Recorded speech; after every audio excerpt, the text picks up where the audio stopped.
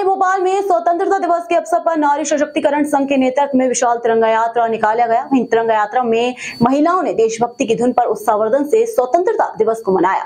वहीं समाज सेवी पूजा सिंह परमार के प्रयास से कई महिलाएँ सशक्त और मज़बूत हो रही है। भोपाल में देश में देश भर में स्वतंत्रता दिवस मनाया जा रहा है। बड़े ही उत्साह से भोपाल में भी नारी सशक्तिकरण संघ के नेतृत्व में विशाल तिरंगा यात्रा निकाली गई। इस अनोखी तिरंगा यात्रा में महिलाओं में बढ़ चढ़ भाग लिया।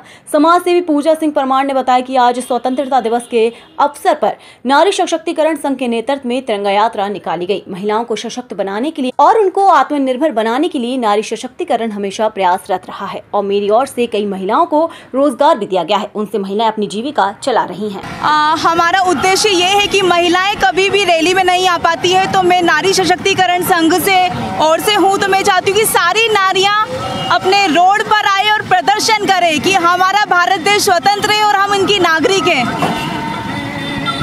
संदेश देना चाहेंगे आप नारी शक्ति और मेरी जितनी भी महिलाएँ हैं गाँव गाँव से सब लोग यहाँ पर आई है। और मैं चाहती हूँ कि इसी तरीके से हम हर साल रैली निकालें और सारी महिलाओं का समर्थन है मेरे साथ। महिला सशक्तिकरण को बढ़ाने के लिए आपके प्रयास है क्या क्या हाँ बहुत सारे प्रयास है। अभी हम लोगों ने फैक्ट्री डाली है और इसी तरीके से बहुत सारी चीज़ें चल रही है जो महिलाओं के रोज़गार के लिए हम लोग कार्य कर रहे हैं और ऐसे लगातार हम लोग करते रहेंगे।